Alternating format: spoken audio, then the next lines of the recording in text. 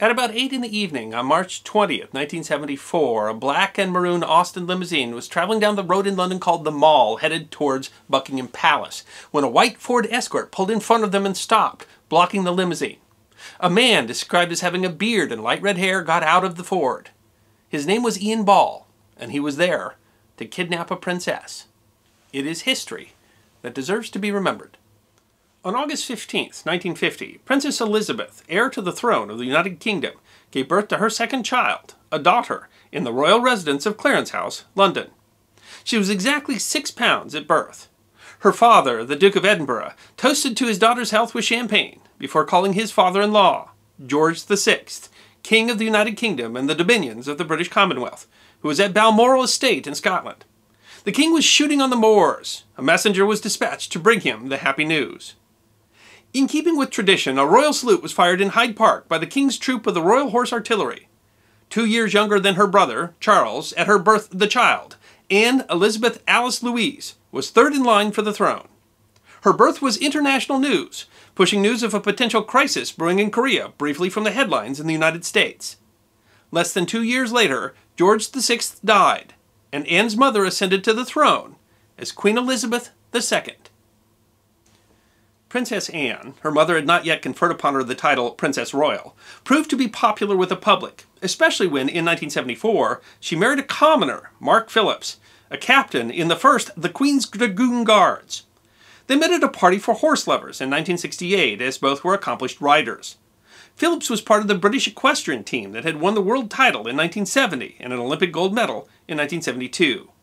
Anne was known for eventing, where a single horse and rider combination compete against other combinations across the three disciplines of dressage, cross country, and show jumping.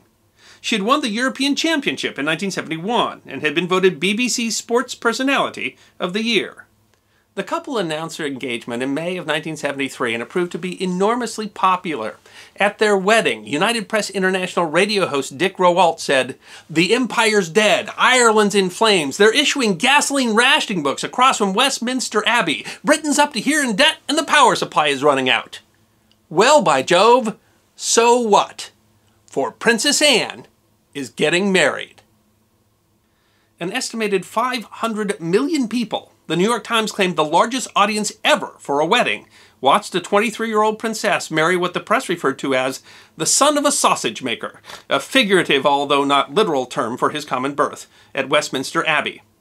The Queen, like most mothers, cried at her daughter's wedding. The press described it as like a fairy tale come true.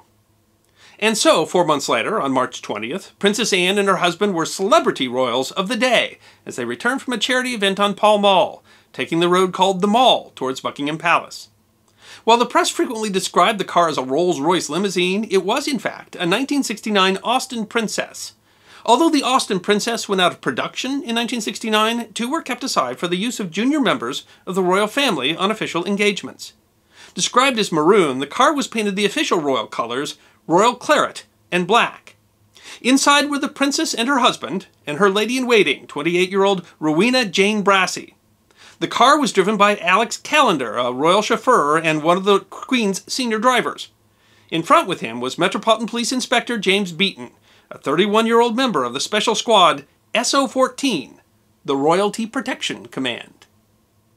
Beaton was the only officer that was assigned to protect the princess that night. That might seem strange with the way that we do celebrity security today, but it was normal at the time. Even the Queen was routinely only assigned one armed guard when she was going about unofficial duties.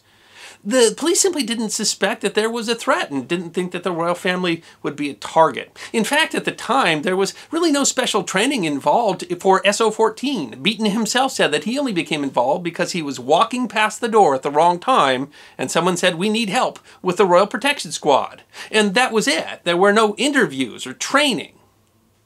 However, Beaton did have an advantage over most regular Metropolitan Police of the day. While officers were usually not armed, members of the Royalty Protection Squad were. Beaton carried a semi-automatic Walther PPK. As Callender drove the Austin Princess down the mall, the driver of another car, a white Ford Escort, started behaving strangely. Callender was trying to drive around the vehicle, but couldn't seem to get around it. If Callender would go left, the Ford went the same way, almost as if they were playing some game of chicken. The princess described the mall that night as being very empty and noted that the mall was not that well lit. Just as it was becoming clear that this wasn't normal traffic, but that the driver was deliberately messing with them, the man bumped the Austin and then stopped in front of it, blocking its way. Beaton got out of the car, as did the driver of the Ford. Beaton had no idea what to expect. Was this just someone upset about traffic, or was it something more? Given the time period, the idea of an attack by the Irish Republican Army crossed Beaton's mind. The driver of the Ford, 26 year old Ian Ball, had not selected the car with Princess Anne by chance. He had carefully considered his target. He later told police, I had thought about it for years. She would have been the easiest. I had seen her riding with her husband. Ball had brought two handguns with him, a 22 and a 38. As Beaton walked around the back of the Austin, still thinking this was a traffic altercation and hoping to defuse the situation, Ball shot him in the shoulder from approximately six feet away. The unemployed 26 year old had come expecting violence and used it without hesitation or remorse. He later told police, Well, the police, that's their job. They expected to be shot. I took a chance of getting shot, so why shouldn't they? Beaton had his Walther out and fired a round, but with his shoulder wound, his aim was off and he missed. As he went to fire a second shot, the Walther jammed. Ball later said, If his gun had not jammed, I would be dead. Ball then walked back to the Austin, pulling on the door. The princess and Phillips held the handle, trying to keep him from opening the door. He said, Open, or I will shoot! During the struggle, the couple told Brassey to run, and she was able to exit out the rear passenger side. The princess said in a later interview that Brassey tried to pick up Beaton's gun, but a very bossy lady on the side told her not to touch it. Beaton, wounded, got back into the car, putting his body between Ball and the couple. Ball shot a second time, striking Beaton's hand, shattering it, and then shot Beaton point blank in the chest. Beaton fell out of the automobile to the ground, incapacitated. Alex Callender then started to get out of the car to confront Ball. Ball shot him, and he fell back into the car. Ball then managed to pull the door open and grab the princess by the arm. She says he told her, Please come out, you've got to come. According to Phillips, the princess' response was, Not bloody likely. Ball tugged on the princess, and Phillips tugged on her arm in a strange tug of war.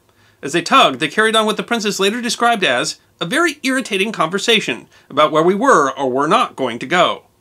Philip said of her, she was very obstinate about it. She kept telling Ball that she did not want to get out of the car and was not going to get out of the car. She said, I was scrupulously polite because I thought it would be silly to be rude at that stage, and we had a fairly low key discussion about the fact that I wasn't going to go anywhere. She said that she did not want to lose her temper because she feared she might hit him, and he might shoot her.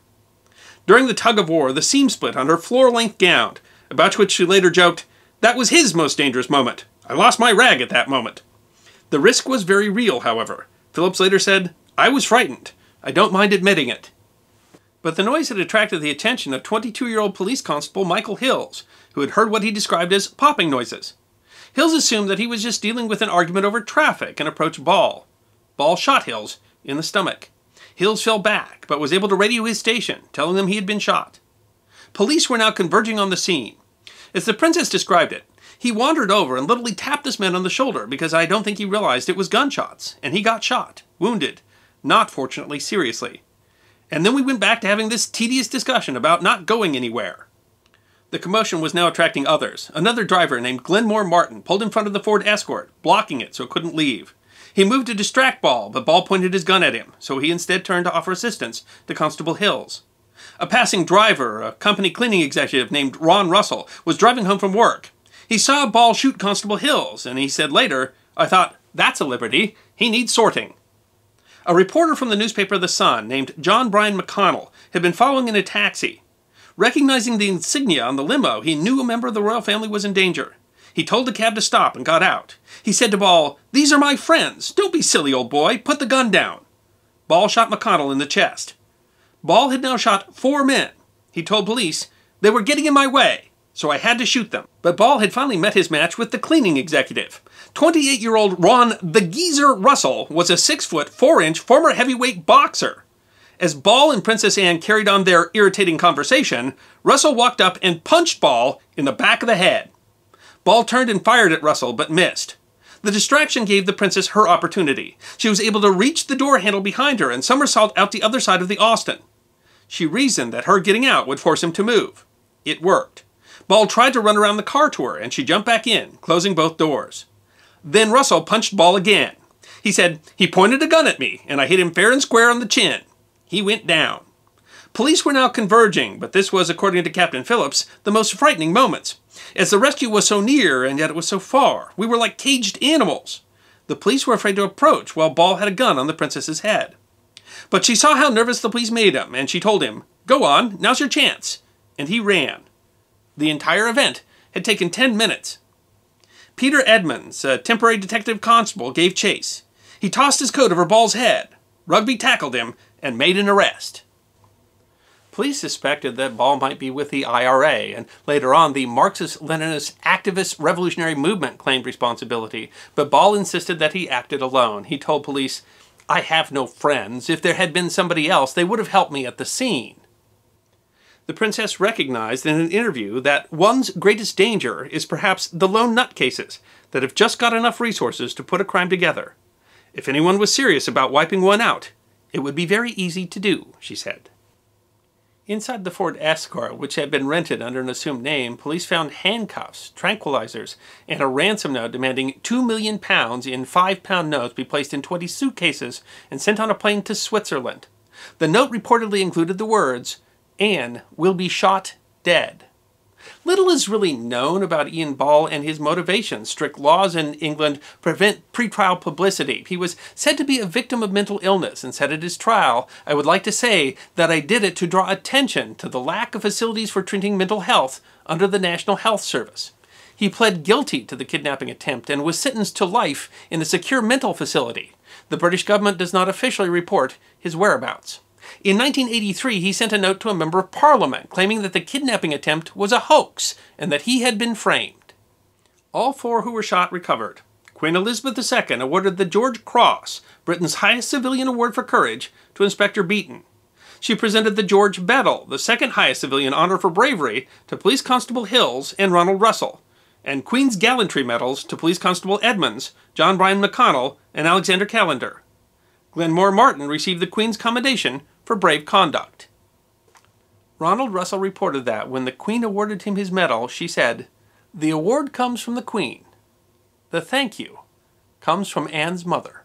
I hope you enjoyed this episode of The History Guy, short snippets of forgotten history between 10 and 15 minutes long. And if you did enjoy, please go ahead and click that thumbs up button.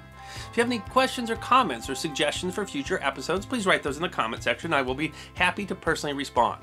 Be sure to follow The History Guy on Facebook, Instagram, Twitter, and check out our merchandise on teespring.com. And if you'd like more episodes on forgotten history, all you need to do is subscribe.